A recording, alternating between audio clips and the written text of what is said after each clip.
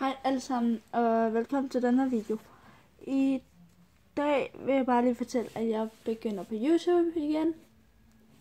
Den sidste video, jeg lagde op, er for et år siden. Trist, men nu vil jeg begynde at lave videoer igen, og det bliver mega fedt. Så husk at like og subscribe, og så skal om. Og så hvis der kommer nogle subscriber, vil jeg lave en intro video, altså ikke intro, intro, men hvad, intro om, hvem jeg er, og hvad jeg lever af, og sådan noget.